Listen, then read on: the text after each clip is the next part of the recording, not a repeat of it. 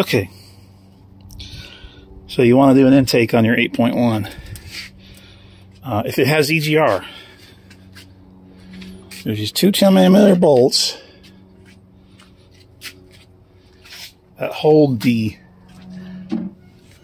Let's see if I can shine a light in there.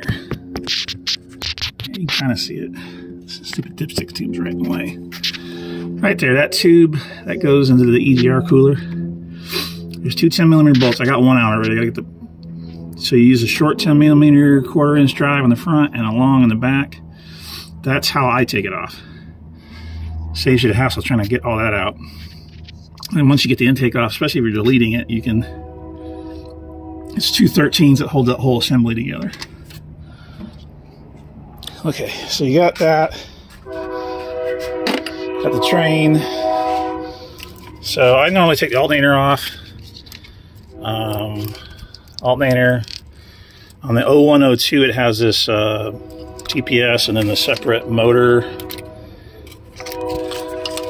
This, uh, carefully, it's a little slot tab here. You push it.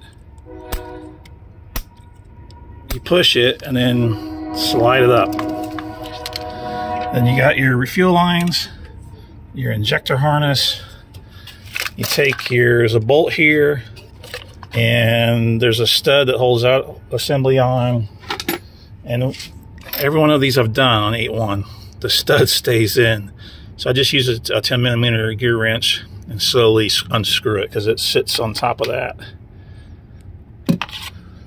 Until it comes out. And then this is out. You unplug your EGR uh, plug. Got all that done. So now all I got left is 10, 10 millimeter bolts. There's five on this side. One, two, three, four, five, and five on the other side. And once you get that done, I usually just stick a pry bar here. And if it's got silicone or anything, I just pry the silicone up. Uh, this has the early gaskets on it. They are plastic. Um, if they ain't broke, I reuse them, but I reuse them with ultra gray because the uh, little silicone will shrink. I'm trying to find the other intake gaskets I got. They were sitting around here somewhere. Give me a minute. It might be over here. I don't know. And these are the updated ones. Where the hell are they? As soon as I find them, they were sitting on this motor I took it. Oh, I know they're at.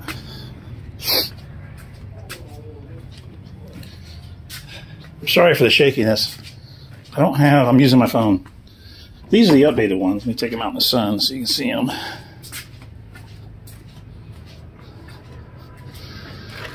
So the other ones are plastic. These are the updated ones, and I, I honestly, I'm not fond of either. Uh, they're metal, they're real thin metal.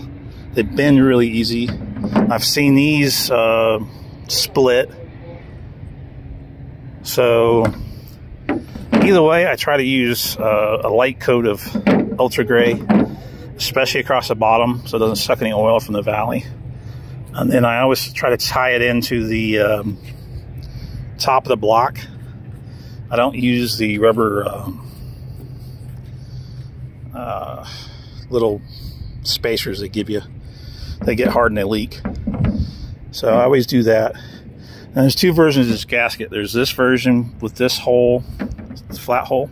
And they make some of the some of the eight ones had replacement heads put on, and they had a deeper bolt hole. The gasket will have this uh, bump, so the gasket will sit down in those holes, and they have a, a longer bolt, which is a black bolt. This like this this engine has the gray bolts. These are the shorter bolts. So I know it has the not deeper heads, but if you get one and it has black bolts in it, then it uses the gaskets with the little bump on them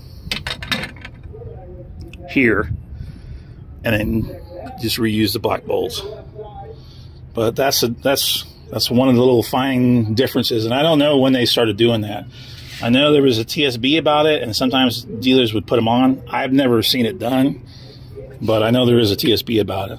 But it's really confusing because they tell you, you some people are under the impression you use you get these gaskets and you use longer bolts, and no, you'll break the bolts off before you uh, get crushed on the gasket. So, so that's how you get it off.